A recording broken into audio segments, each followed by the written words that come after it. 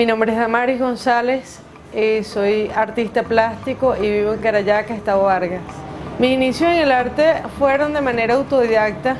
Siempre me gustó dibujar y empecé a pintar formalmente más o menos en el año 92, 93. Y ya cuando tenía ciertos trabajos decidí estudiarlo a nivel universitario. Siempre me ha gustado narrar con la obra, siempre me ha preocupado que la obra tenga un mensaje. He probado varias técnicas de pintura, ensamblaje, escultura. Creo que todo eso desembocó en la poesía y también está bien involucrada la poesía con el hacer plástico. Me gusta mucho el acrílico sobre tela, pero también puede ser óleo, puede ser collage y en el collage cualquier cantidad de materiales que sean susceptibles de sujetarse son válidos.